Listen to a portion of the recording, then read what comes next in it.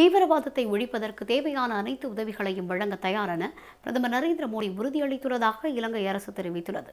இலங்கை அரசு வெளியிட்டுள்ள ஊடக அறிக்கையிலேயே மோடி இவ்வாறு உறுதியளித்ததாக தெரிவிக்கப்பட்டுள்ளது. இந்திய பிரதமர் நரேந்திர மோடி இச்சம்பவங்களை தொடர்ந்து மைத்ரிபால சிறிசேனவை தொலைபேசியில் தொடர்பு கொண்டு உரையாடியதாகவும் இதன்போது தனது ஆழ்ந்த அனுதாபங்களை தெரிவித்ததுடன் பயங்கரவாதத்தை ஒழிக்க முழு ஒத்துழைப்பை வழங்குவேன் எனவும் அவர் உறுதியளித்ததாகவும் அந்த அறிக்கையில் தெரிவிக்கப்பட்டுள்ளது.